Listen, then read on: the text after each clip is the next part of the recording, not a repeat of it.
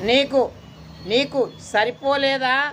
ఒక్క పెళ్ళాం ఒక్క పెళ్ళాం సరిపోలేదా? ఇద్దరినీ చేసుకున్నావు. మొదటి పెళ్ళానికి పిల్లలు పుట్టలేదని రెండో పెళ్ళాన్ని చేసుకున్నావు. కానీ అదృష్టవశాత్తు రెండో పెళ్ళానికి పిల్లాడు పుట్టాడు. ఇద్దరికి ఆస్తులు పంచేశావు.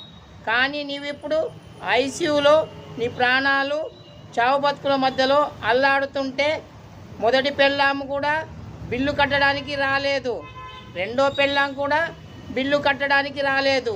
డాక్టర్ ఏమో పాతిక లక్షలు ఇవ్వందే ఆపరేషన్ చెయ్యనంటున్నాడు. అందుకే తెలివితో ఒక్క పెళ్ళాన్నే చేసుకోవాలి. ఇద్దరిని చేసుకున్నావు ఇరకాటంలో పడ్డావు. ఇక బతుకుతావో చస్తావో? నీ బాధ్యత ఇక ఆ దేవుడి చేతిలోనే ఉంది.